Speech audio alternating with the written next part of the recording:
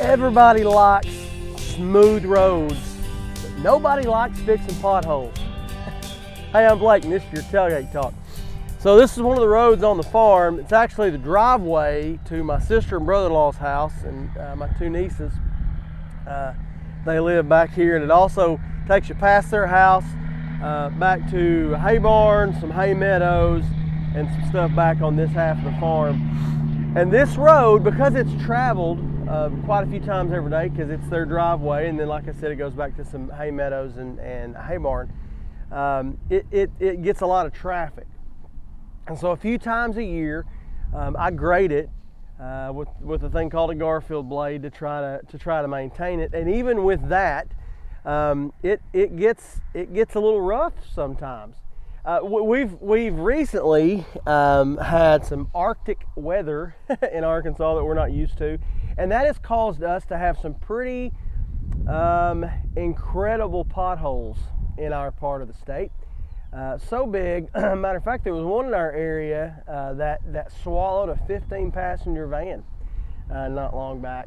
I mean, we've had some we've had some pretty pretty incredible potholes because of the weather everybody likes smooth roads, but nobody wants the job of, of, of, of, fixing the rough roads.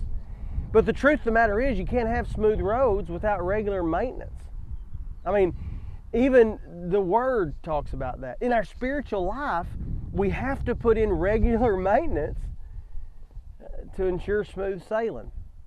And the truth of the matter is, even with regular maintenance, sometimes the bad weather of life causes some rough spots. And it's in those rough spots that we have to steer ourselves back to the repairs that is sometimes necessary to fix the roads. In Psalm 119, uh, verse 55 and 60, the psalmist wrote about steering his mind, steering his life back to God's testimonies and truths. You see, that's the answer. That's the answer to rough roads and potholes steering our minds back to the maintenance of those roads, fixing the potholes, fixing the rough spots by focusing our mind on the truth, the foundation of the road of our life, period.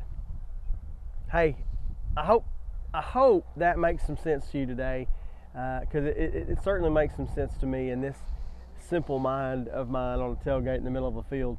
Um, and I sure do appreciate you joining me today on the tailgate. Um, I, hope you'll click that share button so all of your friends on your friends list can uh, maybe get a blessing from this message um, and these thoughts today too. Hey, until next time, I hope you have a great week. And uh, I appreciate you, as always, joining me on the tailgate today. Until next time, have a great week, and I will see you next time on the tailgate.